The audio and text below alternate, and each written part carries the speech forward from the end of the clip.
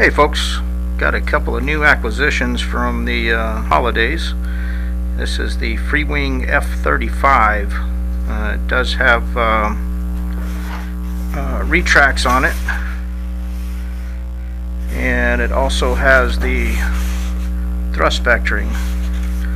So wasn't real sure how to set up the thrust vectoring on it. So I think I've got it going for uh, at least to get it on a maiden flight um, and, and, we'll we'll give it a try in the morning. Uh, the weather's supposed to be halfway decent in the morning, so I'm going to go try to fly it. Uh, this one, and I uh, I've got the uh, little Stinger 64 millimeter up there. Uh, that is also uh, the other new acquisition. That runs on a four cell 2200, and I did set that up with a six channel receiver so I've got it set up with uh, flaperons on that so be interesting. I did put the landing gear on it as well. It's just fixed landing gear. This one here does have the retracts on it and uh, I'm kind of looking forward to this one. Never I've never flown one with a thrust uh, vectoring uh, system on it before. Uh, this one does not have a, a rudder. It's strictly the movable exhaust port is going to give its, its yaw. Uh, the Stinger, it does have a rudder, so looking forward to flying it. So just wanted to give a quick uh, look at them on the bench, and then uh, we'll put this together with the flight um, uh, maiden flights for tomorrow. All right, back out at the field with Jim. We're out here freezing our radios off, and got the F-35 from Freewing. Maiden flight on it. Does have the thrust thrust vectoring on it. It's dialed in with the uh, elevator and there's your, it doesn't have rudder so that's your only yaw you're going to get. And I did set the um, elevator one where I can turn it off so for landings and takeoffs. So here we go. Sounds good.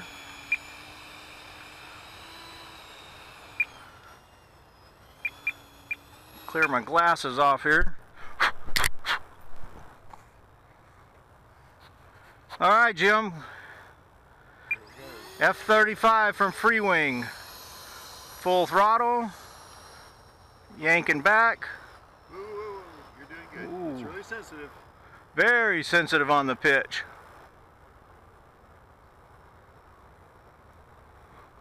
Ooh, that was sketchy as all get out.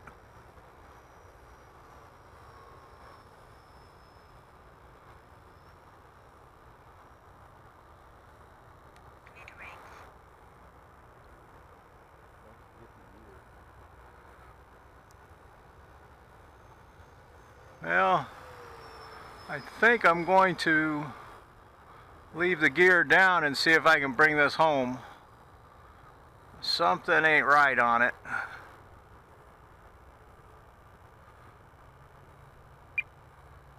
Probably too high on this approach. I have to go around one more time.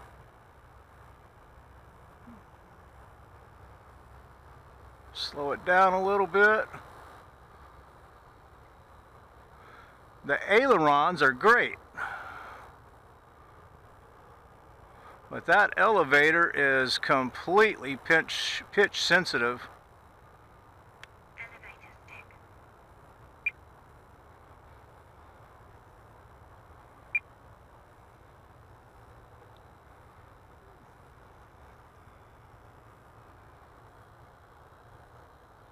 Too bad you can't dial in some expo while you're in the air. Alright, we have the thrust vectoring turned off for the uh, elevator.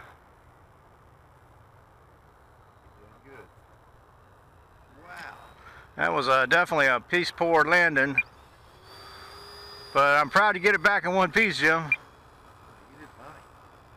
That thing is uh, way pitch sensitive. I think it's because the entire elevators move. See that? You got such a huge... Uh, no, I turned the thrust vectoring off for landing. But the control surfaces are so huge, just a small amount is all you're going to need. So I'm gonna have to dial this in for some uh, expo. I know I had some in there. Oops. Let's see where we're at. Aileron elevator. Yeah, heck, I've got 65% expo in there already. Alright, back to the drawing board. I'm going to have to do some research on this and try to figure out why is that so pitch sensitive. Um, High rates, elevator stick, high oh, you know what? There's the problem right there. I'm flipping back and forth Oh. between the rate modes. Yeah. Elevator stick, There's high rate, mid rate, and there's off on the thrust vectoring. But notice the elevators are not moving Oh. high rates, elevator on the so the elevators are on high rates the entire time and it's just too much for it. I need to dial it down to where it's Okay. low rates is like this right here. You know what I mean? Yeah, yeah, I'm done. All right, guys, thanks for watching.